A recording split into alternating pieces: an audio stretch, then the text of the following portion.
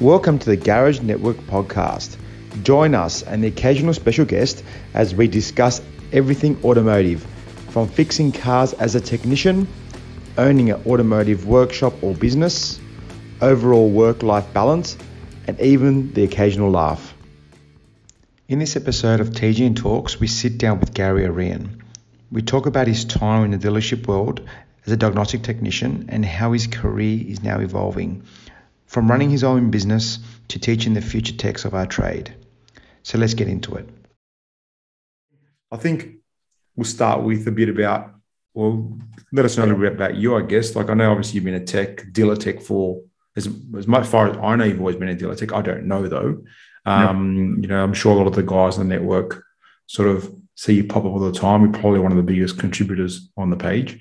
You're really Definitely trying to win was. that, um, trying to win that, um, the TGN prize. So, um, you know, where'd you get started? You know, why mechanic, all that sort of stuff. Um, yep. So I'll, I'll just jump in there for a sec. So I probably was one of the biggest contributors on TGN, but now that I'm not in a workshop all the time, I'm definitely not exposed to as much stuff. Um, just you know, crappy um, apprentice cars, but you know, oh, that's a different story. They can't afford to fix them. Um, so my sto- my starting story is probably a bit different than everyone else or most other people. I so I finished year twelve, and with with literally absolutely no interest in cars whatsoever. I just could not care less. Just I just had absolutely no interest, and so I had to get a job. So the the choice in the newspaper was either wash cars at a local Toyota or get an apprenticeship at the local Ford and Kia, Ford, Kia, and Subaru dealer at the time. And um, I thought, well, yeah, mechanics are stupid, so I'll get the apprenticeship and I'll have a piece of paper at the end of it. Um, I would have made a lot more money in the first three years washing cars, but um, you know, I'm still I'm glad I got the apprenticeship. So that was in that was at the end of 2010 that I got the apprenticeship, and I don't know how I got it. Well, I do actually. One of the guys I work with now, who's a, who's also a teacher, he um he I was his apprentice, and he went to school with my brother. So I think he played a big part in me actually getting the job because I, like I said, I had no knowledge and no interest at all in cars. Probably not the best way to start an interview. I don't like cars. I don't know anything about them, but give me a job. Yeah, that's right. um, I, I, I, distinctly remember the guy from um, I was I was signed up through AGT training um, I distinctly remember him coming around to my house and showing me some pictures saying, okay, so what's this part? And what's this part? Now I know it was like a valve and a piston. And I was like, at the time, I was like, I don't know. I don't know what that is. Um, but yeah. Uh, so I think the guy's name that we'll work with now is Chris. I think he had a big, um, he played a big part in me actually getting the job. Um, so yeah, that was in 2000, the end of 2010 that I started the apprenticeship. Um, the first three years were uh, they were they were all right. They were they definitely weren't. As you can see, as my with my input on TGN, when I pretty uh, I, I defend dealerships a fair bit. It's because most of people's opinion on the dealership is you just sweep and um, just do nothing for the first few years. But that definitely wasn't my experience. Um, like I was changing heads on Subarus and you know, taking engines and gearboxes and stuff out, and just just sometimes by myself, sometimes with somebody. So it was, I you know, I obviously swept and cleaned and stuff, but it wasn't that wasn't my main role.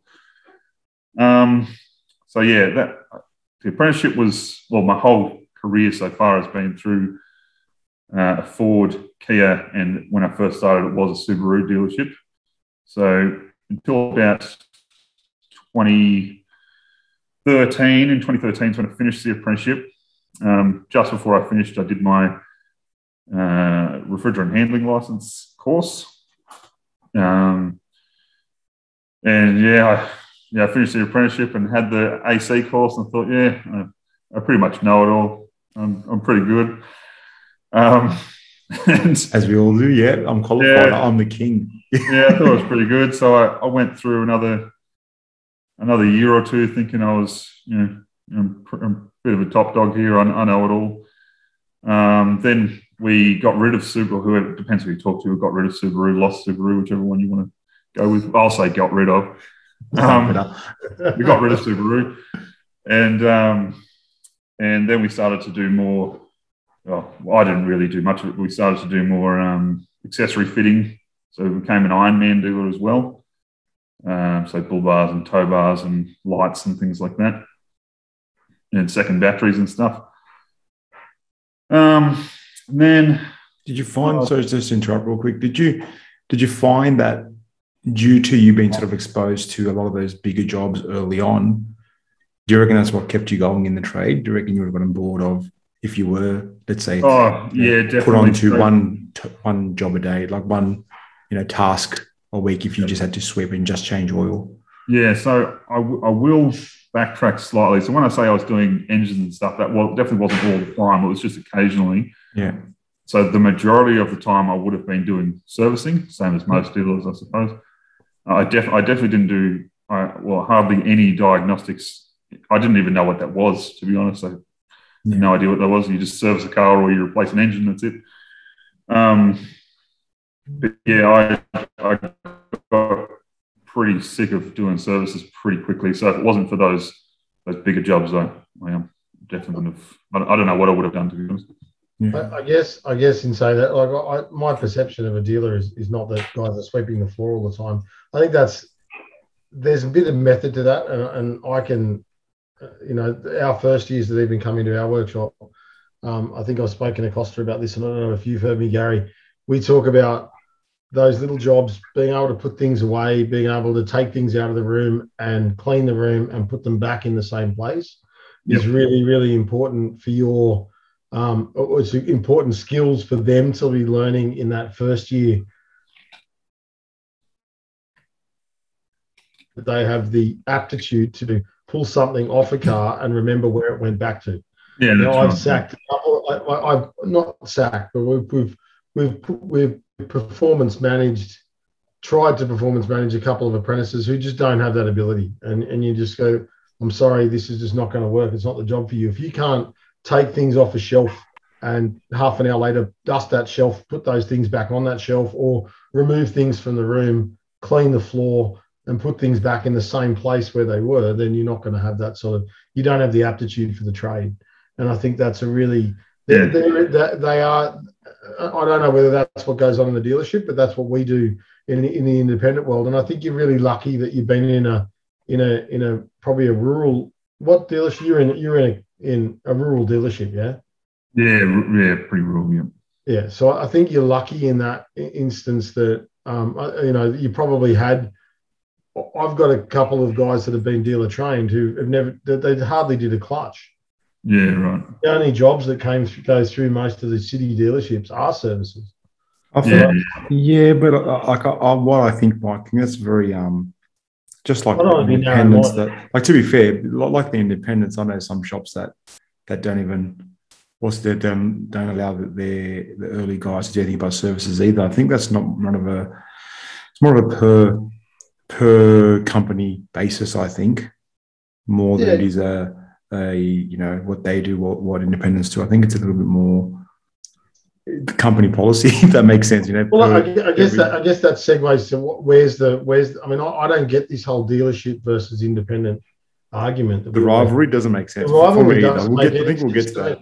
Yeah, yeah. Um, uh, I mean that that that that's uh, but I, there's no certainly from our perspective there's no rivalry. It's probably more about perception and about the guys that we get in to go. I've never done a timing belt, I've never done a timing chain, and they've worked in a dealer for seven years and, and, and in the city, that's probably because they're not exposed. They don't get the opportunity to do those jobs. That's mm. it's all about. I mean, you can have a guy working at Bob Jane, who's who's who's a, a, a third year mechanic or, or, qualified mechanic who's never done anything but tires and fit batteries. Yeah, yeah. we um in you know. in my area we're surrounded by mines, so a, a lot of people do light and heavy vehicle mine apprenticeships and some of them some of them are clever. Um, uh, as I smile after I say that. Um, but I was, I was watching that. The problem is they're at the mine, so everything gets you know, everything gets rusted and needs replacing every five minutes, and um, the mine has an endless budget. So you know if the if this Yeah. if this bush and control arm starts rusting, you don't replace the bush or whatever. You just replace the whole assembly because that costs you know four thousand dollars. But you know the mine doesn't care; they'll just throw four thousand dollars at it, or they'll just replace the car. Or so you know they don't they don't do a lot of diagnosing or anything like that. Yeah, Cost so they there's not, yeah. yeah, there's not really a, a limit to what they can just replace. Oh, you know, the engine's blown up. We won't rebuild it or anything. We'll just we'll just chuck that Land Cruiser out and get another one. So, so on that as well, you said diagnostics. So you obviously went from like a lot of your videos that you do put up are quite um clever Thank you. for, for a word, better word. Um, My what, head getting bigger as you say that. yeah, we, we, don't worry, we'll pop it later on. We'll try we'll try and build you up before you knock you down. nah, never. Um, so what what made you want to start going down that path? Because I did dare say it's probably harder to sort of get away with. Um, I'm guessing time they give you in a dealership to do that sort of work is a bit tighter. Yeah. So what, what what made you um want to do that path? So the the um, I think it was 2019 or something. That's the same year I actually joined TGN. Hmm. Um, I the service manager at my work uh, that had been there the whole time I was there left, and so occasionally I took over for him if he was on holidays or something, and so I took his job, which I, I'm not going to do that again. Um, he um, a part of the agreement of that was that I'm allowed to do a, a training course, which was the certificate three in auto electrical. Um, so I went and did that. And like I said before, I, I thought I knew everything. And then I went to that training course and I was just like, oh my God, how have I survived in this trade not knowing how all of these things work? This is crazy. Was that just Like an electrical add-on to your yeah. mechanical? Yeah, right. It was it was certificate three, but it was like that that flexi trade. So it's just a year's worth of the courses that I didn't do. Some of them, like ignition systems and stuff, I chose to do just because I wanted to see an auto electrical take on on something that I already learnt in in light vehicle, and it was just complete. The way it was explained was just completely different. Like it was it was really well really well done. Yeah, nice. Um, and yeah, that that got me into understanding a lot of things a lot better. So I, I started to gain a lot more interest in that way. So that's what got me down the diagnostic path. And so because I started thinking that way, I was like, oh, I'll join all these groups. And then I got on to TGN and I was, this isn't me trying to, you know, kiss ass or anything, but I got on there and I thought, oh, hey, well, I know all this sort of electrical stuff. I'll blow these guys away. And I was like, oh my God, now I'm an idiot here too. Jesus. That's all right. That's how if it makes you feel in, but that's how we all feel. I think Yeah, it's, it's, everyone it's on like I know everything until yeah, everyone on the TGN group is just like such an overachiever. It's ridiculous. Just, oh my god, makes you sick, doesn't it? Yeah. it does. You don't. You just realise you don't know everything, and you just got to. You learn every day, and uh, Yeah, one of those. You're always learning. I mean, I've been doing this for 30 years, and you just you learn every day. Ask someone. My dad. My dad been doing it. You know, he's 80, so you know you just go. He's been doing it since he was 16, and he loved learning every day. Well, I don't know about you guys. If I see some new stuff that I don't know, which I, I think I should know, it makes me want to learn that thing. So Yeah. now when you see some guys do some pretty cool tests and tricks, I think it's pretty um, you know, it's pretty encouraging to make you want to go and try yourself. I'm still chuffed about getting bearings with the bearings off with the hubs out with the bloody How simple is it? Spinning a hub. and Yeah, how it up, simple is it? oxygen falls off and go. What have I been doing for 30 years with? Hammer and chisel for the last 30 years, yeah. I've got bits of metal in my Yeah. arm. you know, what, what am I doing? And then Well, it's so easy. Yeah. the um the th- the one test that got me into the diagnostic and, and scoping stuff was um was at the auto electrical course. We I did my very first relative compression test with an amp clamp, Yeah. and I just I just flashed back to the 400 times that I could have used that and gone, oh my god. Oh, that, that's honestly Oh. that, that's what got me Yeah. on to even wanting to worry Yeah. about what a scope was was that one test. Yeah, that's exactly. Yeah, it just just opened a whole world of. That's just saved like it's saved me thousands of hours retrospectively, but just, Yeah. Yeah, the, the, the amount of the amount of non-invasive testing that yeah, you know, for all the stuff that we've pulled apart that you could just go, oh my god. Like, Yeah. My, my favorite tool still to this day is a vacuum gauge. Oh, Yeah. I, am I'm, I'm gradually moving over to the to the um uh, to the to the um in cylinder uh, pressure transducer, but but I still love you know my my vacuum gauge is my number two test tool. Yeah, look, mm. I'll, agree, I'll agree with that. I'll agree with that. So it's up there. It's one of the things that we grab with a with a an ignition system tester, a, a, a fuel pressure tester, and a vacuum gauge. They're the give me those three things and, a, and, a, and an incandescent volt voltmeter or incandescent sorry voltmeter incandescent uh, test light um, and and and I'm away. You're right. So you know. Yep. Basics never die. The they, basics well, never no, die. All we ever do is reinvent the wheel in this industry. That's what we do. Ex- except with maybe the electric vehicles. I don't know how you're going to get a vacuum gauge to work on one of those. Might be a bit of a problem. sure. So, uh, Rob Romano's now got a test. He's going to he's going to make something by next week, and he'll say, "Yep, this is how you use a fucking vacuum gauge on this or whatever." He'll, yeah, a high voltage system, one hundred percent. He'll come up with something, or someone else, uh, you know, someone on Garage Network will make something. I feel like are you laying down a challenge, are you? Yeah. someone will come up with a yeah. Oh, that's right. So all right, so all right, that got you to diagnostic stuff. Um, now you're now you're also doing some other stuff now, so you've had a bit of a career change. Yes. So I had a, a big career change. Uh, do you want me to get into why? Yes, sure. Why not? Okay, Absolutely. So, what, what is it? What is the career well, change? You better tell everyone what you've done. What have you done? Pardon? You better tell everyone what you've done. What is the career change? So the career change is uh, I'm a, I'm still classified as casual, but I've got a full time teaching load at the, at the TAFE now. So I'm doing light vehicle and auto electrical teaching. Awesome. Congratulations. Um, thank you very much. It's, it's different. Um, so the, the purpose of the career change, it was only the start of this year that I actually took on the, the role. Um, like I said, I took over as the service manager at my old work, and that got old pretty quick doing the, the invoicing and the warranty and the the foremaning and all the all of the stuff all at once. When I, I, really had no idea what I was doing, I was just sort of learning as I went. Um, the previous service manager just, just had it all in his head, so I just had to. I just started deal with it. Yeah.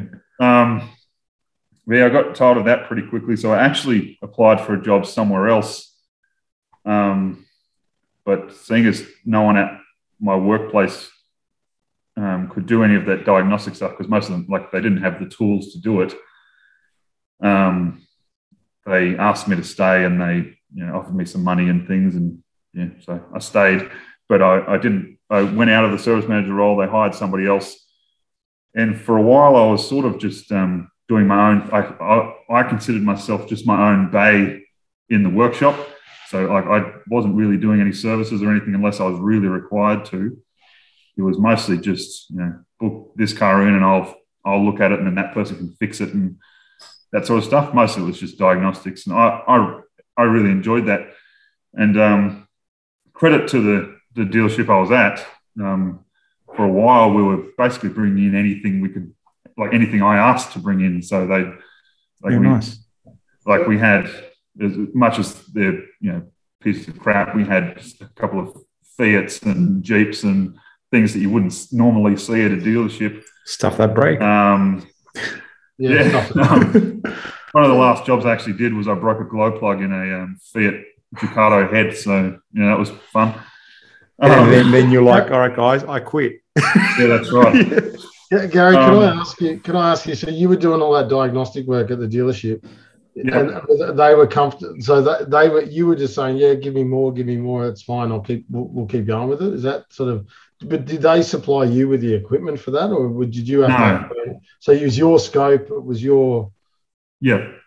It was, so I'm only using at the moment. I'm only using the the, the Hantek still. I'm just waiting for some some cash, and then I've, yeah. I've promised Ben at Mount Auto that I'm getting that Pico. So, um, yeah. but yeah, so that that toolbox in the back plus the one you're sitting on, the laptop's on another toolbox. Like it's probably seventy five thousand dollars worth of tools. Yeah um, and that's all my stuff. Yeah. There, wasn't there wasn't really much supplied by the dealer. Like there was obviously this uh, Ford and Kia scan tools, um, but other than that, there wasn't. That was credit credit credit to them. Yeah. I mean, I think they should have probably backed you a bit more. I reckon that would have been nicer. As a business owner, I would have been like, I would have backed you more with that. But credit to you for wanting to take on saying, give me more diagnostic work and them taking yeah. other marks that they wouldn't have felt comfortable with. Like, you yeah. know, like that, that, that, that's out of their comfort zone. I mean, I, I would assume. Yeah. Yeah. Well, we, we really only have one, we had one subscription to a, to like an aftermarket information and it, it probably wasn't the, uh, I won't give the name. It was it's good, but it's more for just servicing information. It's not technical yeah. information so much so much.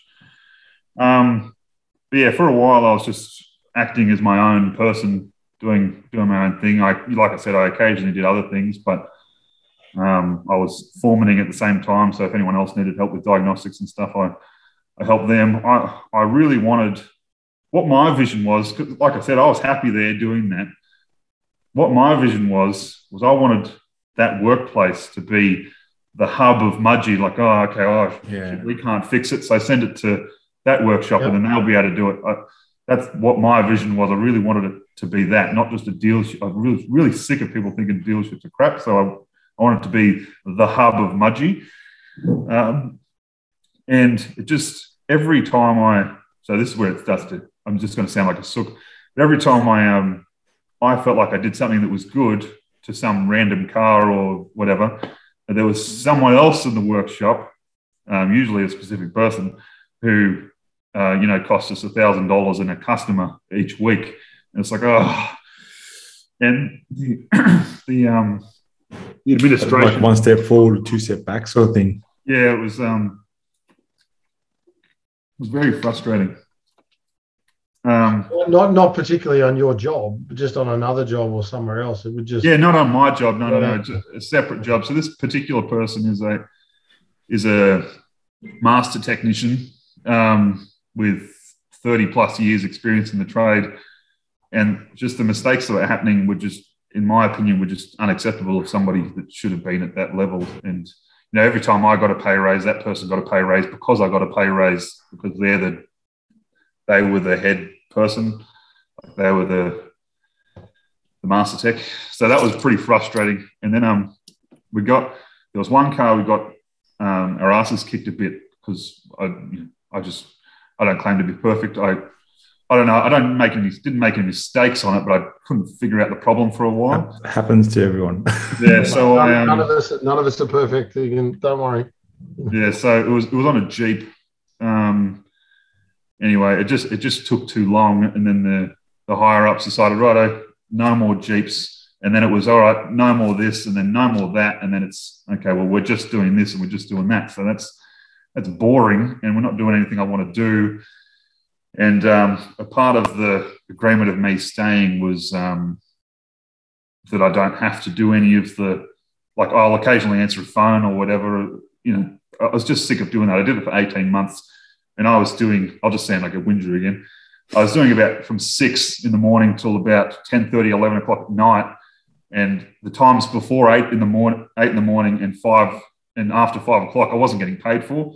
Yeah, wow. So it was just, it got old really quick and I didn't, didn't want to do that anymore. Um, yeah. So um, that was part of the agreement. I didn't have to do any office stuff. Like I, am happy to help, like give some, give some help if he's got some questions or something, the new service manager. Um, but they wanted me to take over more responsibility and start doing more things. And I thought that's that wasn't the agreement. mm. First of all, you take away all the cars I want to fix, and then you send me back into the office. That's not what I want to be doing. Yeah, and I think that's really important for people, for, for other people listening to this, is to go, that's what you, like you said, that's what you agreed for. You can't just, it's not a take, take, take relationship in, no. in business. It's, as um, a business owner, it's a give and take relationship. I think even as business owners, that's right. We have to remember it is a two way street. Yeah, I will. And, owners, yeah. Uh, and I, have got, I mean, um, similar things have happened to some of my staff who were foremen at, at other shops, and they they just want to be technicians. They got sick of yeah. dealing with customers. I'm not mentioning anyone's names. That's fair though. That's, that's a fair thing to do. With customers, all they signed up for was to be a technician, and they went to be a foreman, to be dealing with customers and being in that foreman role where they were dealing with customers and explaining what they were doing to every car every day and just got fed up with that part of that role. And they just said, this isn't what I signed up. This isn't. I, I will. Um, became a mechanic. Yeah, I will. Um, give. I will. I won't completely trash talk the old workplace. they, they never. They never asked me to come in early or stay late. It was just that's what I. If if I didn't, just the work was. It would just be there again tomorrow, and I just thought, well, if, I, if I don't stay and do it, it's just not going to get done. So I'll just No, that, that's that. your work. That's, so your, that's they didn't tell me to do it, so That's just But your that's, work ethic. That's your yeah. work ethic. That's your Yeah. work ethic, and that's and that's that's the, the the reality of that is is you sign up to be a technician, and and I you know like I mean I I had that, I had that argument with my dad because I was managing other things for the family from remediation to development proposals to put myself out of a job, and I would be like. I just signed up to work on cars. I don't need to be doing all this. But the reality is, is I didn't want to leave that with him. So we ended up, I ended up doing, and my, or my uncle, and and the role was there, and I did it, and you do the job, and that's just what it's it's crap, right? Yeah. And it's like, you know, I, I don't want to be here, and it's lucky for me, I couldn't leave. It was my dad, his family. yeah, yeah. Um, you know, you're you're lucky that you can just walk. You, you can, well, you feel like you can, and you had another job to go to, which is great. Yeah. Um, so yeah, so in in 2020, the end of 2020, about August, September, I was I was doing one day a week at the TAFE doing just TVET teaching and, and occasional trade classes if there was a teacher away. Um, so I sort of had a, a taste of what TAFE was like before I had to take the whole plunge, but I didn't actually know what I was doing when I took the when I stepped into the TAFE role. It was very it's very different than one day a week. Um, but yeah, so that that wasn't it was it was it was a big career change. But yeah, that that was the decision behind it. I just I I was pretty I was it upset me that nobody else there saw the vision I wanted to have as that business as the, the central hub of the place that can fix anything. Like I, I know I can't fix everything, but I, I want to try to anyway. I want to see if I can. And then if I can't, then well, I'll figure out why I couldn't and try again. And learn from that. Yeah. Absolutely. Yeah. I just just nobody seemed to share that um that vision. Look, and, and you know what? That's also fine sometimes. If, if visions don't match, sometimes it's, it's okay to, to separate. Like it's what it is. yeah. You know, if, if you're not in the same direction, It's a nice Yeah, vision. was it's a nice vision. That's a nice Yeah. vision. Yeah. I, I get, I get. the, there's a there's a workshop. There's a workshop around Forster Way that's got that vision and is doing that, which we'll talk to. You know, Yeah, he's doing it very well. Well, I mean, that's sort of your your vision as well, isn't it, Mike? That's sort of your you're trying to do. They're trying to do everything in house as well. yeah, we we we well we I've, we've gone for the one stop shop, but I mean, you know, but but again, uh, it, it, I I, understand, I I didn't realise rural Australia sounds Mudgee to me is not doesn't sound so rural. It's not that far away from us in Sydney. Um, As much as it is a long drive for you to go home when we have drinks at Newtown uh, at Christmas, but um, the the yeah, I, I get that. I think that's a fantastic vision. I think there's one or two shops in country towns that, or in, or in regions around around the state, especially New South Wales, that are very very good at doing diagnostics, and people come from a from a wide range. And and there's a, a shop in Forster where they go from Tamworth, from Newcastle to Tweed Heads yeah. to go to, to go to him to get the jobs done. And he's like, you know, 45 cars a day. Yeah. Right. And you just go, it just, blo- I, yeah, I, it, it's, um, it, it's, they, they just, they're drawn from such a massive area because you're very good at what you do. It's a bit of a necessity as well. I mean, over that such a large, you know, large area to cover. I mean, it's a bit of a necessity to have that shop that can do it all. Yeah, it's, it's a, yeah, I, and, and I, I- I'd like to be able to say that, yeah, we could do that in Sydney. I mean, there's a lot of customers in Sydney. There's a lot of Mm. cars in Sydney. I mean, there's one thing to service your local area, but there's another thing to become a very, Yeah, very I think one thing you forget about Mike is space. Can you Yeah. fit 45 cars a day? I know I couldn't. No, no, no, but, but I mean, look, yeah, no, I can't. That's that's he's drawing over such a massive area that Chad's drawing over. That that's it's yeah, it's out of this world. That's a whole. I want to go and have a look. I know we, we've got to go. as soon as lockdown's over, I'm going to have a look. But but but I, yeah, uh, again, I totally get your vision. I love the vision. I love it. Can you go? Who's doing your job there now? That's all I'm going to ask. Um, so the, the person that actually took over me was my apprentice he's qualified now. So I will give a shout out. He's part of the TGN group too, Robbie Oakley. Yeah, awesome. Um, he's he's going really well. He's starting to get into the scopes and stuff. So he'll probably do a better job than I did. but he's, he's yeah, he's, he's definitely he's definitely one to watch out for all the like videos coming out and things on TGN. I mean, if it was if it was uh, one of your apprentices, can't be too bad. Yeah, come on, Robbie yeah. wants the videos, mate. TGN Tech Tips, they're, they're up again. You can win a fuel pressure test. No, we're running. How did you find that that um that bit of a obviously you had an apprentice, you had a bit of training with them. Had you um making that change, you know, from tech to now standing in front of people and teaching? How'd you find that? So, so I got a little bit of experience from having the one apprentice of the questions just come from way left field, like left field. They just sort of, okay, well, I don't know the answer to that. I'll just have to, oh yeah, I'll talk about that in a minute, and then go and figure it out. um, the having you know 15 apprentices at once ask you these questions is um, it can be pretty challenging. yeah. it's, a, it's, a, very different scenario. It's a very different scene. Um, but I, yeah, the, it's been a pretty good experience so far. I don't like any of the paperwork. I was talking to you about that Costa, how many pieces of paper we go through. That's uh, so we go I think, that, that's a, I think that's a um a, a teaching across the board of every industry, yeah. I believe, though. So I think it's um, record keeping is um, a must.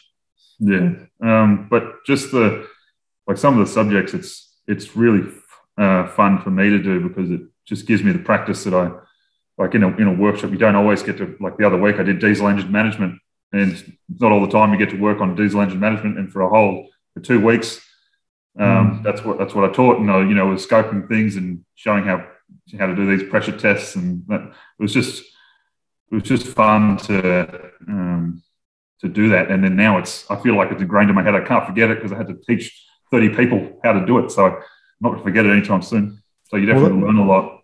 So that, that's one thing that I'll probably touch on that as well. Like I think if I find now that you've taught it, does it feel like it makes you a better tech as well? Yeah, definitely. I definitely have a better understanding of it. Yeah. I, going into the lesson at first, um, you do you, you know you do your prep time and you go, oh yeah, well I'll just go flick through this and like, oh, I, I still don't know how that works. oh my god, having to explain it and get all these random questions because some of the students are pretty clever. Um, you, you you have to you have to at least be able to regurgitate the information. If you don't understand it, you have to at least be able to say it and that yeah. helps you. Um, and being able to explain it in a way that different students understand makes you understand it better because you know just just reading it or something's different than a student doing it and going, oh yeah, okay, well I'll flip this around or put this. You know, yeah, it's it's a it's a it's a different experience, but it that helps you learn. Well, I think that I think if you have to explain things simply and also in different ways, I think it it makes you make sure that you know the, what you're training very well it's yeah. easy to use acronyms and and things to people that understand. But when you're talking to someone who has zero experience and you've got to dumb it down, write down, I think yeah. you then have to learn it from the basics. It's pretty different. I found yeah. it I found it quite challenging to be honest. Like initially I was like thinking of it all, then you start reading about why things happen, like, oh crap, I don't remember this. Yeah. You know? I think it does help. It does help. Yeah. Yeah, so obviously, so you're training mostly guys from independent workshops, I dare say. Um, yeah, there's a fair few independents, but a lot of them are. There's a lot of dealerships as well. Because in Dubbo, there's I don't even know how many dealerships. To be honest, there's probably six. Um, and so we're from. We train from all sorts of places, like a like a 600k radius, pretty much like from all sorts of places, like Cobar and Bourke and yeah, Broken right. Hill and people from everywhere. So there's people from mines, there's people from dealerships and independents. There's people that are not an apprentice at all and they're just paying for themselves to go through the course. Uh, school-based apprentices, things like that. So you get to see them from all different things. So can yeah. you now say that um, all dealer techs are crap and that the um, you know, all they do is change pollen filters all day and, and the independence of the best? Surely, yeah. surely that's what you're going to say, right? Yeah, that's what I say to them all the time. Yeah. um, so I try. Where do you think that comes from, right? Like, where do you think that comes from? Because I find that so hilarious whenever I see people going on about, oh, you know, dealers this and, and independents that. Like, look, I understand the big scale competition between independent businesses and dealer businesses because they they're in competition. Yeah. But I still have a bit of a hard time understanding the tech versus tech situation. Yeah. I can understand the business versus business because they've got different models to the models we run. But I'm trying to figure out the tech versus tech situation. Yeah. I, I really don't know. And even the business versus business, when I was at the dealership, um, I know a lot of the conversations I see, not, not so much on TGN, but other groups, uh, oh, you know, I'm trying to get this information and the dealer won't say, how do, where do I buy it from? Uh, I, I, other than copyright laws, I was happy to just, you want some information on transit, you fix that transit. You know, I don't care. Yeah. You want this, you know, you want a time belt diagram or torque specs for this. You, yeah, here you go. I'll take 10 minutes out of my day and I'll print it out or email it to you or whatever. I don't care. Have it. Like, Yeah. like, like we've had conversations about before, there's, there's enough cars for everybody to fix. I don't, I don't really understand. Like if somebody else is busy, I'm still going to be busy. Um, even in a, in a fairly rural town. Um, with the, with the, I don't, two two minds in the dealer versus independent. I do understand that dealers are trained in usually one or two brands only because I, I did a fair bit of Kia specific training, um, but I've, I've since realised all that actually applies to everything. Car is a Um, car. Yeah, that's right. um, but I do understand most of the time, you know, if, if I saw a lot of failures on, you know, specifically, oh, you know, Rangers, but everybody sees failures on Rangers, but I see lots of failures on Rangers and, you know, those sort of cars and not so much on, you know, a Land Cruiser or a Patrol or, a, you know, whatever. Um, so I do understand that an independent gets more variety. Um, but I, I, I don't know how that reflects in ability. Mm. Um, like I've most of the, I can think of every test I've ever done on any Ranger or any Kia. I can also do on any Hilux or you know any Corolla or anything. I can do it on any car. Uh, I, It transfers. yeah, Transfer as well. I think I think it's more the I think it's more the uh, the the level. Of, well, I think it, I think it very no different to the independent world. It very it, it varies very much between what dealer you're at or what Yeah. independent workshop you're at and what sort of training you have. I mean, Yeah. one of the one of the biggest gripes I've had, which is why I pushed for certificate twos, was because we had tire changers who were becoming qualified mechanics and they had only ever worked at a Bridgestone tire shop. Mm. They may have done That's a really good point. Yeah. right? They, they had they they had been changing literally. They were very good at changing tires and very good at doing services, but they couldn't. They outside of that range of, of, of jobs, they were no good at doing anything else. yeah, yeah. They were they were coming through apprenticeship. Uh, they, were- they were mainly. Uh, this this sounds terrible, but uh, this is they were mainly employed by group training or like uh, not group training organisations like We know the ones you mean. Yep. like eight, Yeah. the, the Yep. mobs The ones you mean. Yep. the people, the hiring, the, the apprenticeship The- hiring, hiring Yes. company, um, and they would hire them specifically to those those uh, tire shops. But I think, I think probably the perception. I mean, I've been independent for thirty years, so when we look at that, there's I don't see any, I don't see the the the the, the dealerships worrying about us, uh, and I don't personally worry about dealerships. There is Same as enough me. cars for all of us to go around. There is so many cars on the road. The problem that I see that is that dealerships structure themselves to be servicing cars that are not to 40,000 kilometers Yeah. 40 to 50,000 kilometers. Uh, and that's all those techs are usually doing in the city. Once those cars get to five years old, which for us is 50,000 Ks out of wa- or 30,000 Ks out of warranty, they don't, they're not doing any other work to them. So They don't get too much exposure around the city, around the city, anyways. I don't think they get too much exposure to Well, other than service. high kilometer cars. Yeah. Yeah, so So, That- so they never do a clutch. They never do a, you know what I mean? Like they're not they're not getting exposure to those other sorts of jobs. So I suppose maybe maybe when you get it into the, into the out into the in rural or out as you get out into the west of Sydney, you might get cars that need a clutch or need a transmission or need other work once they get older. So I think there's a there's a big there's a big I think a lot of it depends on where you are. Obviously, yeah, that's right. You're probably right. You know. Yeah. Um, so yeah, that's definitely very different from my experience at the dealer. Oh, um, you know, we're servicing cars two, three hundred thousand k's on them. Have had three or four clutches, two engines, you know, Yeah, wow. all sorts of stuff. Um, we're, we're still there's a there's a particular Subaru Forester with uh, I think it's got 440,000 k's on it now on its original engine. Actually, I don't know how that happened. I don't, be- I don't believe it. I I don't know. believe but like, yeah, we get cars like that all the time, and um, yeah, it's it's definitely it's definitely you know everywhere's so far away, so you can't. Well, cars that- don't just get ten thousand k's on them. that sounds like they're the sorts of cars we service, Costa would service, or I would service. That's what Yeah. we would normally we would.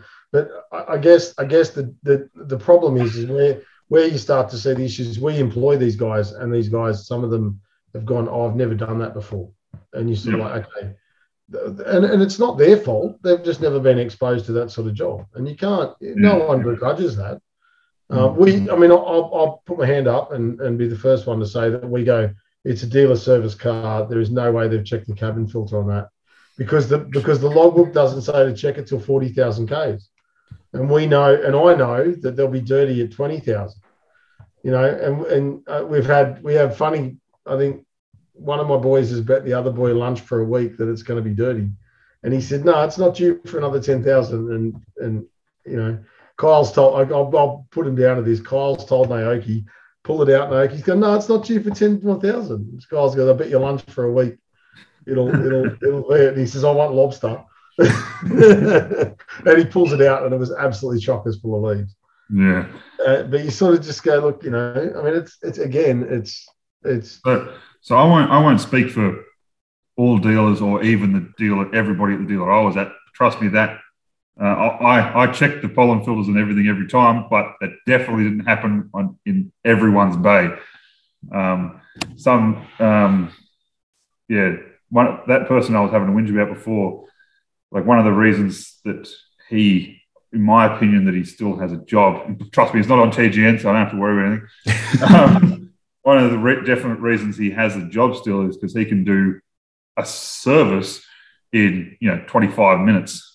So, but then they still charge an hour, so he's making them a lot of Productivity's, money. productivity's Yeah. up through the roof. Yeah. Yeah. So when they um, when he makes a thousand dollar mistake, you know he's made them two thousand dollars in services. Yeah. which is not the right thing to do. but, but no discredit to to the boy for, for guys. If you don't have time to do that in the time that they do it, they need to be more efficient and they need to be trained to be more efficient and they need to be trained to be able to do that service in that hour or whatever it is or 45 minutes Yeah. to, to, to whatever they're charging to do that service. And and I guess there's no I don't know. I think it's I think in, I think what it is, Mike, as well. We got. I think in the independent world, we had to have the luxury of, well, in, at least in your case, my case, of, of making the rules, so we can sort of design. If we want one and a half hours for a service, two hours for a service, we can make that call. And like you said, because we're not really too concerned about what the dealers are doing, we just build what we want to build as what's a part of our service for our business. Yes, yeah, you know we're not guided by man well we are. We follow manufacturer stuff also. Obviously but if we want to add an extra half an hour because we want to check extra things we can make that call you know? Um and your text obviously from there will follow what you say very Yeah, similar loosely- thing you know loosely guided her. I mean, I guess that's the problem with that was the problem with fixed price servicing. The biggest problem hasn't been it's not the tech so much. It's probably what the dealers have uh, the the the confines they've put around what you've got to do in that fixed price service. And there's Yeah, there's that- not I don't- there's definitely not much leeway in No. some of the fixed price servicing, uh, especially for for cost and things. And the, and the, part of the problem is if the customer has a list, which all they have to do is Google the list of how much their service is, and say uh, on a Ranger, I think uh, like a I don't know forty. Oh, sorry, let's go thirty thousand k service. So that has a fuel filter on it. It's like five hundred and five dollars or something, and then you want to put an air filter in it because it's absolutely filthy. They know it's supposed to be five hundred dollars, and an air filter is you know seventy dollars or something. They're just going to go, "What? No, this is covered under this. Oh, dealerships are crap. I'm taking it." yeah that's right Well, Darren need that's, that's what your car needs. We're just Yeah. yeah. all the dealers always rip me off yeah yeah, we can't that we can't fit that into the cap price as well because then like we're losing forty dollars. it's Yeah. not it's not possible.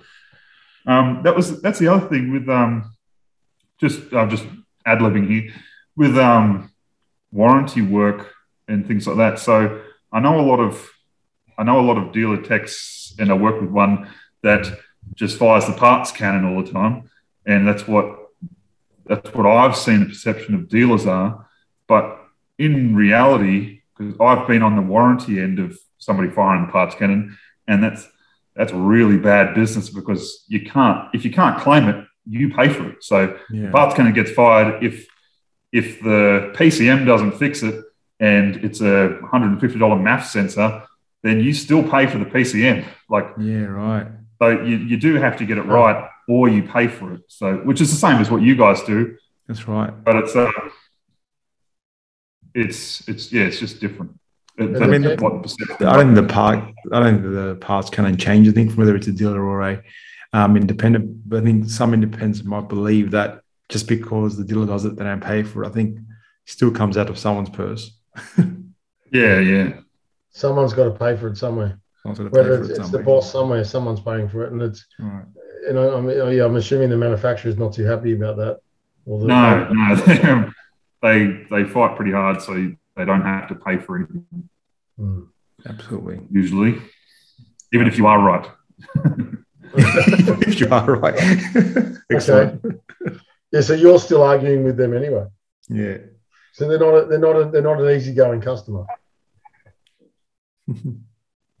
yeah, you got uh, no, you, you do a client um, shock absorber that was leaking. They had they had like a hundred and can you guys still hear me? It says my yeah, no, you're good, you're good. Yeah, um, yeah it said uh, so. The it was a Ford Ranger. It had a leaking shock. The car had like a hundred thousand four hundred k's on it, so their warranty is one hundred was one hundred thousand at the time.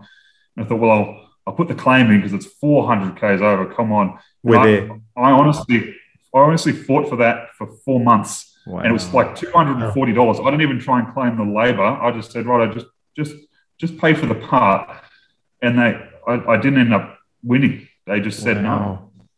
Wow. It was, it was like two hundred. Look, that's surprising to me. I'll be honest. That's, that's surprising to me. I just assumed, and this is again me just assuming that you know you make a mistake. Uh, there's some leeway in there, you know. But that's that's interesting. I didn't. We actually there was a there was a Ford Ranger again, yeah, um, where it was a an EGR cooler had failed. So this was on, I think it had failed on the 28th of December, and the person's warranty ran out on the 30th of December. So we opened the job on the 28th, but we didn't finish it until you know January 3rd or something. Mm. But because that person's warranty had run out in between the times of the fo- beginning and finalizing of the job, we had to claim it as a different claim type as an out of warranty type.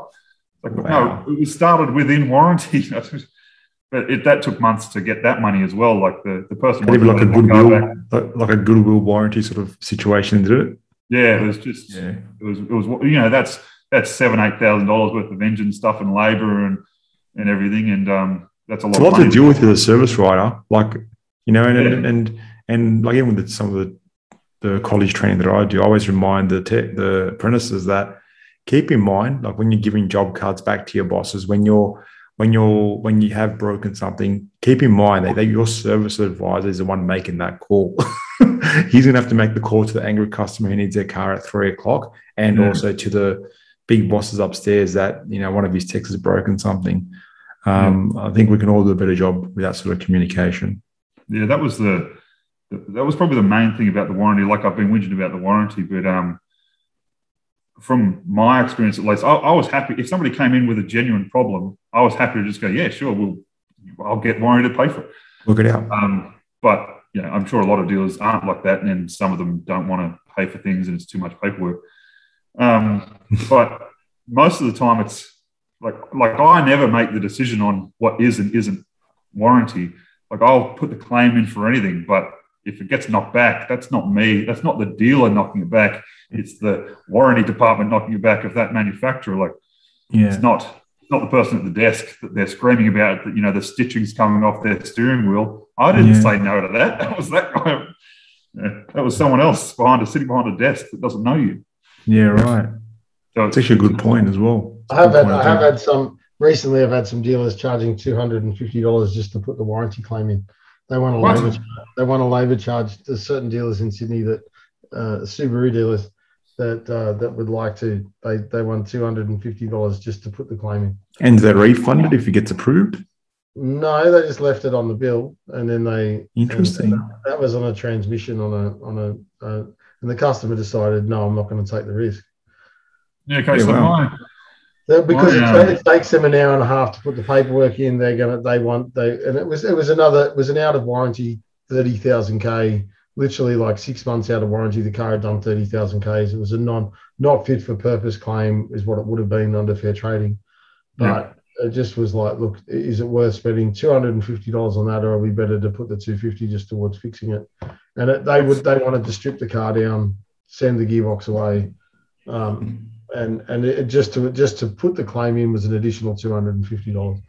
Wow. that's crazy. So, so when I talk about no, not all dealers are crap. Maybe it's just the one I was at. How are your turns around. Because that story is wild. I'm not. I, I'm not. I, I'm not saying all dealers are crap, and I'm not saying you know like it's, they're they're about to get a bit of a shock. I think a lot of the they, they've been very they've been a protected species, I, I believe, as far as Yeah, uh, yeah, I'm uh, excited for this new legislation. the freedom of information stuff that ARCA and the AAA have got through for us is absolutely fantastic. Yeah. And that's gonna in the next in the next six months now or eight months or whatever it's going to be till July next year. The the car park is the the games that the goalpost for us are really going to get moved, and the halfway points there for us, and and we're going to get a lot more access to a lot more stuff. It's going to be Yeah. really, really good. Do you reckon that's going to change your um? That's going to change your teaching. Yeah, Considering now we're going to have access to um, manufacturer stuff. that'll make it a lot easier. There'll be less um, pirating of information from some of the students. I think. we wouldn't. We would never. no, no, no. that I mean, anyways. there'll be uh, other. I've heard of it happening. I've heard of it happening Right. from other Try to choose my words carefully here. Yeah, no, I've heard of it happening from other people. We But can like, edit that out. That's okay. That's it. naughty, Yeah. naughty. Yeah, yeah, we wouldn't do that. Um, That's right. Yeah. So in saying that, so how how do you reckon the teachers are at um, JS twenty five thirty four programming? Pardon? How do, how are the teachers? I Um, can tell you from my experience, not many teachers have done it. I know I'm just going to say Gary couldn't No. hear us. Oh, sorry, Graham. Yep. the J2534 programming, To pass through. pass through programming, or knowing anything about Yeah, CarDAQ or about Drew Technologies, about Those Bosch, other guys. Bosch, and all of the all of the different different stuff that we we you know some of us have been using for nearly eight years now. Nine Well, Gary's Yeah, at well- the, the Bosch pass through. So I mean, you, Yeah. you know, yeah. Some of the teachers um, have an idea about it. Um, they're definitely not using it. Um, the head teacher there, um, he's he's where I seem to. So TGN is a group of overachievers. At, at the TAFE on that as well, they're they're another bunch like that too. They're all um, all the light vehicle and auto electrical teachers are all a bunch of overachievers as well. They're all always making things or doing something, doing, crazy things. Um, so the head teacher there has done some pass through stuff. Um, I want to put it in as a as a part of the lesson. So with the auto electrical, you know, we did some tuning, as in you you were able to you know use your um uh, whatever it was called. It was one of them was Haltech, one of them was something else. We were able to go in and change some information and and um, you know you know change shift points in gearboxes and things like that. But it was pretty basic sort of stuff. And I want to add pass through on top of that because that's something you will actually use. Like a person doesn't Yeah. really need to know how to use how to change it. Well, me at least. I'm talking about just me, so it's all about me. doesn't doesn't need to know how to you know tune a car, and that's not really a huge interest of mine. But pass through is something that you need to know how to do Agreed. because um, being at the dealer, I know how many cars are fixed by software updates and, and things like that. Agreed. Um, and being able to swap PCMs around and, and things. So like it's it's something that needs to be taught. Well, especially once they can all have access to it, there's no reason Yeah. not to, right? Like that's before we had a cop out of, you know, go take, you know, you're not going to see that, so it's okay. Yeah, What I mean. right. It's, it's, it's, it's there. it's there. We're going to have access to it. We're going to pay for that access to it, and that's you know we're going to learn how to use it, and that's Yeah, I'm, I'm really excited about that. Um, with the, I'll just go backtrack a bit to the to me thinking I knew everything. I I didn't even know any of this aftermarket training existed at the dealer. I thought it was, you know, you do dealer training, or you go to TAFE, and that's that's what I thought existed. And then on TGN, there's all these training events and stuff happening all over the place. Well, um, I'll, I'll, give props to you on that. Like uh, you've come to a fair bit of it, and then yeah. driven back home, like at, at, a crazy, like driving drive out sort of hours. Yeah. Like it's it's a solid effort by like people like yourself and even the other ones that come from quite far away to make that commitment because it is a big commitment. You know, it doesn't come to yeah, you. We're paying for it. We're driving out of our way for it. We're normally on a weekend, so you're away from family. Yeah, um, it's definitely worth doing though. The um, when I did that uh, hybrid electric vehicle with um, Scott Daly and, and you guys, um, the the the previous three days I had done Kia training for the same subject, and the first half an hour of Scott's training was just like, oh, this this is so much more information than the dealer training gave me. It was just it was it was almost not worth going to the Kia one because there was just so much better information in the in the Bosch one. I just I I never knew about that extra training you could get outside of the dealer network or TAFE. Well, look, you got to look for it. Be, I think well, that was the issue that I used to have going through the ranks. It was quite hard finding it. I found it very difficult to find training that was that was current. Um, and I will give a big shout out to Scott, um, Scott Daly, for those that don't know. He's one of the trainers from um, that we deal with frequently. Um, trains for Bosch. Yeah, trains for Bosch. So his, his method of training, I think, is very good. Like he, he's definitely one of the, the better trainers I've seen. He's got a very good way at relaying a message, and far out, he knows his shit really. Shouldn't yeah, knows his shit really good. Like you can't really stump him. Like he, he no, um, that was the first one I went to it was just like he just blew my mind away with, with, the amount of information he was delivering and how he knew it. It was crazy. And the back seat of that Rav's never been the same. Yeah. no comments about the Rav. yeah. Yeah, no, um, Scotty's a very good trainer, and anyone that wants to do it, as soon as COVID lockdown's over, will be will be back at it. I'll, I'll, I'll, be hosting some more Bosch training, and and uh, yeah, happy to do it. It's really, really good. It's nice to meet everyone and nice to have everyone. I like seeing people learn, you know, and the networking is really good. So, yeah. And uh, yeah, again, as Costa said, mate, Gary, you had a long drive home and a long drive here. So, oh, huge props, huge props. A solid effort. Like, not, not many people would do it, you know, because like I said, it's taking time away from your weekend. It's, you're paying for training and, you know, committed to make that drive there and back. It, it's pretty serious. Like, it, it's a solid effort should be should be proud of yourself. It's good. Very much. It's, it's definitely worth doing. So that's that's it was an easy decision. It's like, oh, there's training on. yeah. no, uh, it's good. Good that you enjoyed it. I'm glad that you got something uh, out of it. I've got it's, a question actually good you. feedback. I got a question for you, Gary. Have you got a love for cars now, or there's a bonnet up in the background behind you? you That's a good point. You know what? Good you, point. Like, like after working in the trade for this, for you know, what is it now? Ten years or more. This is this is my eleventh year. Yeah. So eleven years. Have you? Do you now have a passion for cars, or do you just don't? It's still it's just a, it so, puts food on the table. So I've asked my question that myself that question a lot.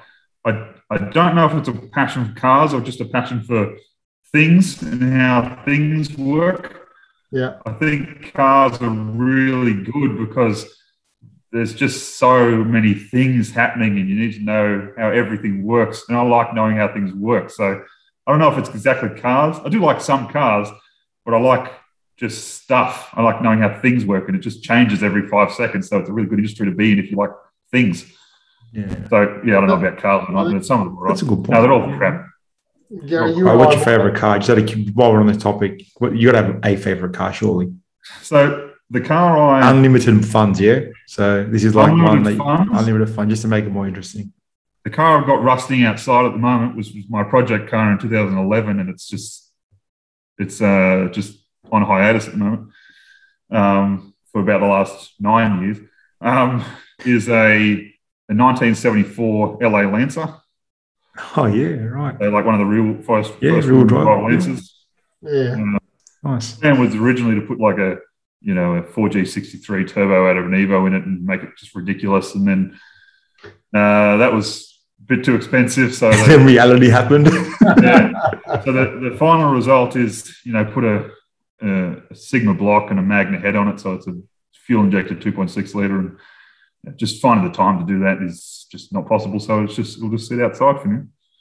See, with that question, with that question, Mike, I secretly found out he has a passion for cars. Did you see that? Yeah, I don't know. I'm the same. I, Gary and I are more alike than you think because I, I don't. I think so. Because I, I like I've, I've, you boys g me up about it because I just I see cars are just a means to get a bigger boat or to put food on the table, whatever, whatever, it's going to be. Um, but yeah, it's and I, I really I love his answer to that question. I think I love your answer, Gary. It's a, I have a passion for fixing things. I love things that are broken, and I love yeah. knowing how they work, pulling it apart, putting it back together, and obviously not having things left over and getting getting something that's not working to be working. Um, and and that's that's always been that's what I've always done in Dad's workshop when he was working on cars when I was a kid when I was there after school. You know, like I'd build a billy cart or I'd fix a bike or we'd do stuff like that. You know, you'd find something on the scrap heap and fix it. Yeah, yeah. Um, yeah, I probably, but yeah, Costa, you can sit there and say that, but I've got I've got cars that if I had unlimited funds, I'd, you know, I built half a dozen FJ40 Land Cruisers and sold them, but I just did all that for the money. Yeah, that's what I'm saying. but, but, but, you know, to buy a boat, yeah, buy and sell and buy and sell and change, you yeah. know. But, I don't know. There are car, there are things you like. It's yeah, nice nice things. Yeah. Know? I wouldn't know. Your Lancer project will get there. You've got plenty of time now. You're a TAFE teacher. They don't do anything. How dare you? Yeah, that's true. How dare you? I'll, you know what? You know what I'll do one day? Sort of have him sitting with us while we're marking.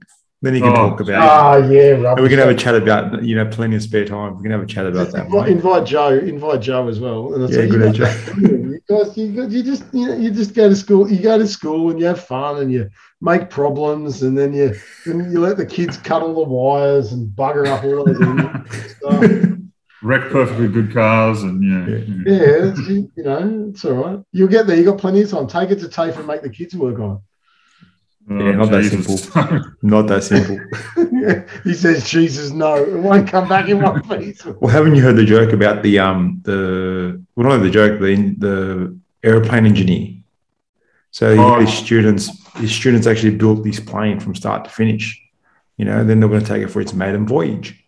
So everyone was scared to go on the plane, and the engineers, like, the teacher was like, you know what, I'll, go on the plane, no worries. And I go, well everyone was scared to go on the maiden voyage. So everyone was like, why aren't you scared that the plane's going to drop? Because, mate, there's no chance it's going to get in the sky. So I'm not too concerned. Oh.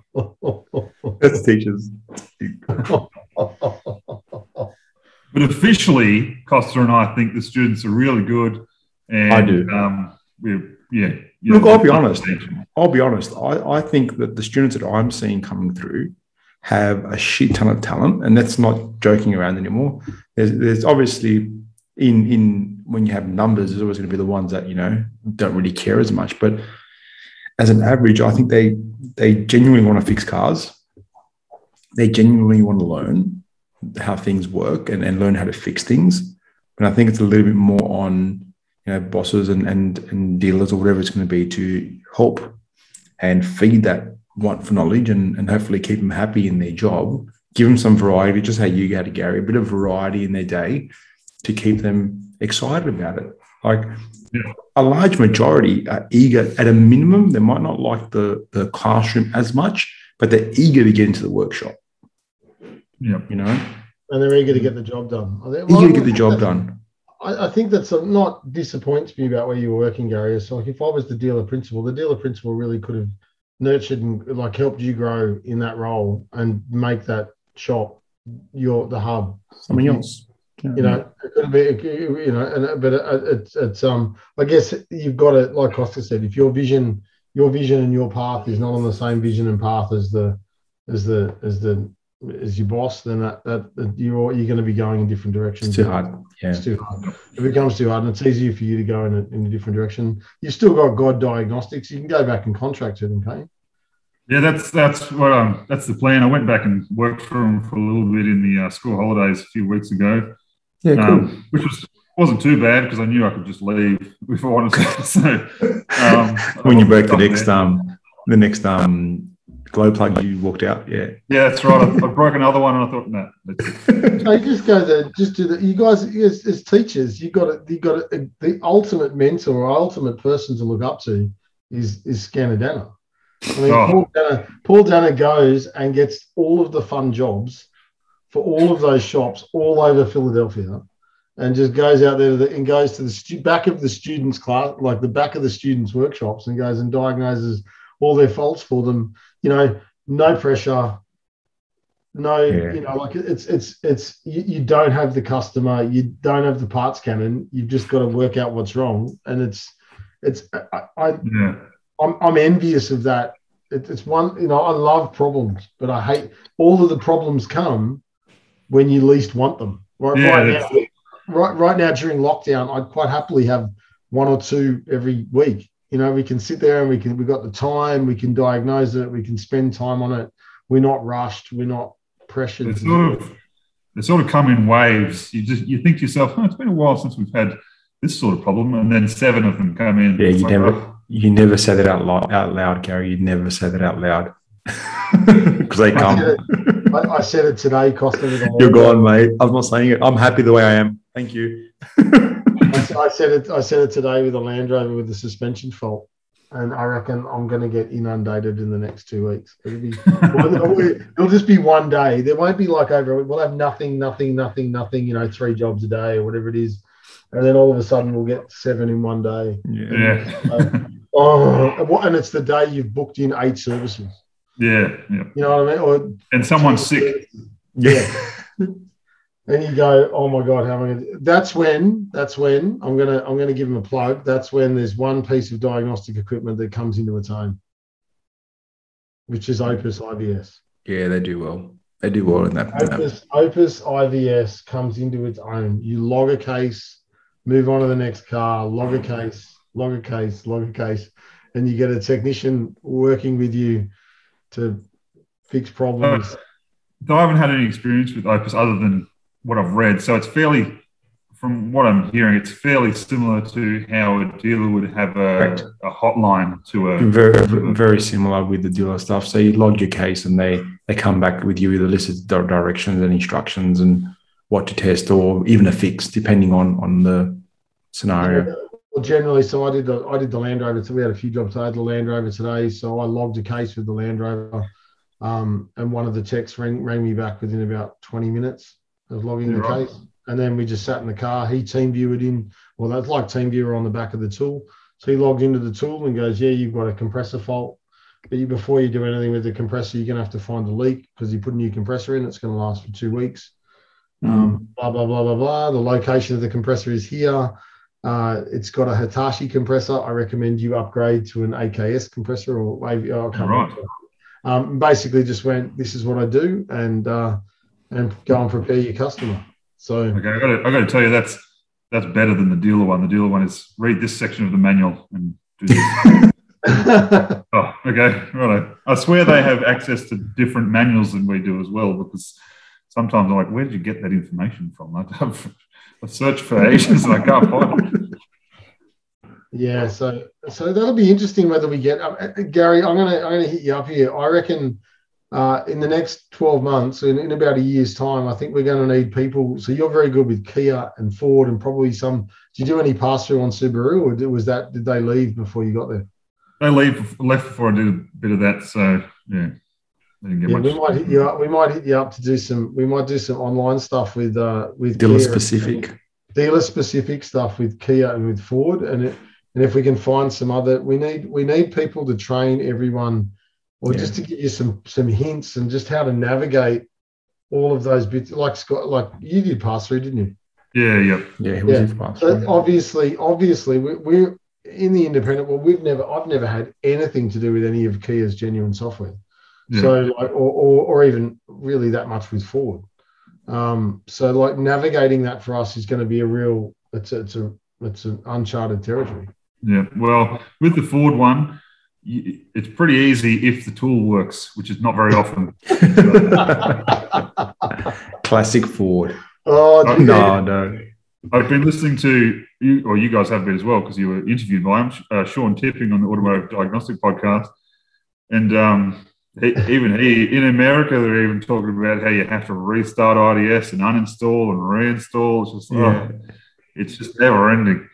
There's always some issue with it. It's not just you, mate. Not just you. No, it's everywhere. So what? So what next? So you've got the um, your obviously your dealership days are sort of at this point, anyways, not done. Um, Yep. Teaching. I think Mike just mentioned as well. You got your diagnostic God, God Yep. So, diagnostics. just to Gary mention. ÓRiain, So. You good? so the plan is, I, I don't really know what the plan is. I'm just playing it by ear at the moment. The um, the I've organised a van. I've just got to pick it up. It's a bit of a piece of crap, um, but it's a van. It works. work. Yeah. Um, Park it next to the Lancer. that's Let's come back in nine years. Yeah. Uh, well, even then, still, I don't know. um, it, it doesn't look too bad, but it's a it's a it's an older Mercedes van, so good luck to me. Um, but so the plan is to get the van and fit as many tools as I can into it without overloading it, um, and just uh, with the the time because I, I teach from Monday usually until Wednesday, 12 o'clock, and then the rest of the time is marking and organizing and stuff until Thursday afternoon.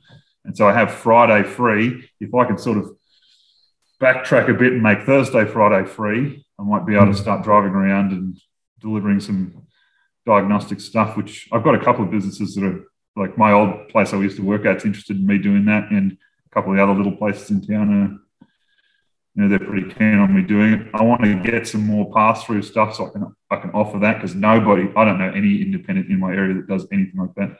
Yeah. Wow. Um, so I want to be able to offer that as well. With that, Just- you can have your have your vision and make it you are the one to go to in town when you got Yeah. a problem. Yeah, that's that's the that's the um that's the plan. Now, not look, not to pump your head up. I think you got the right, um, the right vision. I think you got the right, your head screw on the right direction to, to be that. To be honest, I'll, I'll be honest, and not just saying that because you're here. I think you like you're definitely committed. Like making you put probably the most effort in from most guys I've seen. So I think you definitely have it in you. Yeah, So I definitely wouldn't wouldn't defer from that. the right attitude and the right Yeah. got the right vision. It's a right. It's a great idea. I, I love it. Yeah. That's the that's the idea of most of us start our businesses with. We want to be that person, and you want to be that the person that everyone goes to when they got a problem. Yep. See, as bad as that sounds. Yeah, I know, right? Sometimes you don't want to be that person. Trust me. Sometimes you'd like to switch that off, but that's okay. I'll, I'll do it for a week. after. I'll, I'll do it for a week where everybody's angry after they have had trouble with it and are getting yelled at, and I go, you know what, this this wasn't the best idea. I don't want to do this anymore. You know what it is, Gary? Oh, just just being that angry person that's once called the diagnostic guy to come and help me before early on in my career, remind them you're there to help Yep. and you haven't caused the situation. You're just there to help them to get through the situation. And, That's and- and you also That's get it. the luxury of being able to go. I'll, I'll diagnose it for you. You can repair it. You can pull the glow plug out. That's you know, that's the remind, um yourself, remind yourself that to go. Uh, this needs new glow plugs. It's a Fiat. I'm not doing that job. that's, I'm just here to that's, that was the Here's my fee. that was the tipping point of yeah maybe I shouldn't be fixing cars. I should just be diagnosing cars. I just I'll tell you what's wrong and you can break the glow plug. you can break it. With someone, that, you should have given that to the master technician. Oh, it would have been on fire, I'm sure. oh, that's awesome. All right. I think um It was really do you, have, good. do you have any questions for us? Um, No, I hope not. well, so many answers. Not, not that I can think of, really. Uh, I would like to thank you and the other admins um, just for having TGN. I, I- it's just a, I don't have another word for it other than ridiculous and overachieving. It's just, Every, I it's love just that. a great group. Right? Over, overachieving. It's, I um, love it. We're not It's just- overachieving. it's just full of people that are just so ridiculously clever. And um, it just helps drive, I, in my opinion, it helps drive the industry forward. It, help, it makes Well, everybody want to do better. I'll say thank you, but I think you now that it's not really look. Don't get us wrong. The admin do do a bit of work, but it's not the admins that make the page. It's the guys that are in it, and I think it's the guys that are in it that are driving, making us want to do more as well. The more we see them doing cool shit or cool stuff, sorry, um, we tend to want to then do more as well because like none of the admins actually make any money from it. Just a lot of time that goes into it, right? Uh, so it's probably the worst possible business model ever. Um, but but you know what? When we when like you say stuff like that, or you see people actually you know taking the time to post cool stuff on there, it makes it all worth it. In my eyes, anyways. Yep. I mean, Look, my- no, my- when we hear, when, I'll be honest, when we when I hear things like that, and and that's lovely to hear. Thank you, but, Yeah. we don't, we we you know, like we, we it's, it's not us, it's the it's it's the people we've let in, and it's the and the people that we've kept, yeah. and Yep. they, keep- they keep the page going, and the people that contribute. The page is the page. I think I think a lot of that's got to be. I mean, I don't do a lot of it, but a lot of that comes down to vetting people that are coming on the page and keeping mechanics on the page and keeping good people on the, Yeah. and letting good people in the page and not, Yeah. you know, keeping making sure it's only mechanics and it's only te- you know only technicians and only um and only People with the business. right mindset.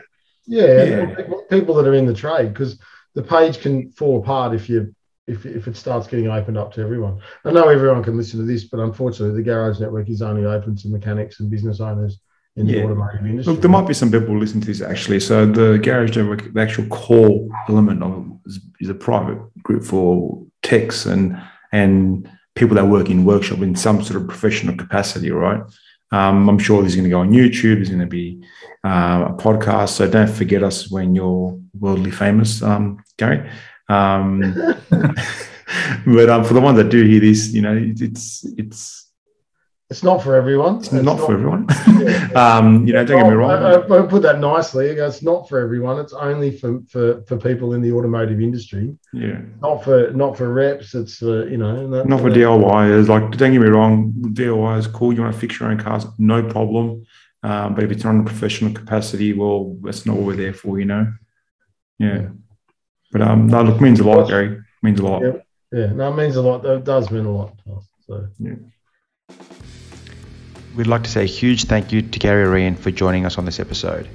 Don't forget to join our private Facebook page if you are an automotive technician, and also subscribe to our YouTube and our podcast channel. They are all called The Garage Network. Thanks, guys, and see you next time.